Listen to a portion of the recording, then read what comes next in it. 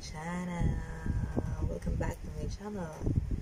And so, um, yung vlog na ito is gusto kong i-share sa inyo yung um, isa sa mga natutunan ko sa kultura ng mga Intik.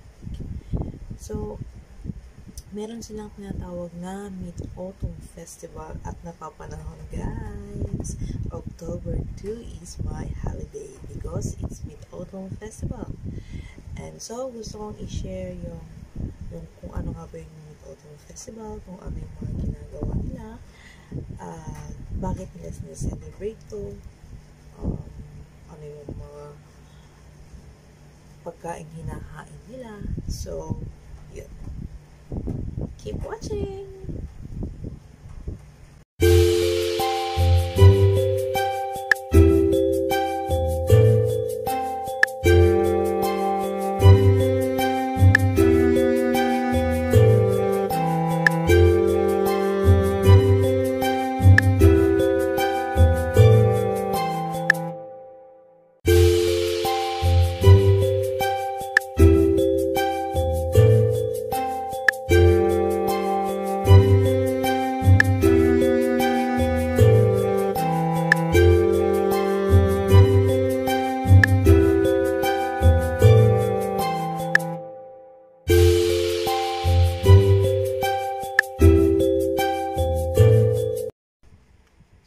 Therefore, guys, Mid Autumn Festival is a day of feast, a day of celebration, and I'm happy to, to share with you what I've learned so far.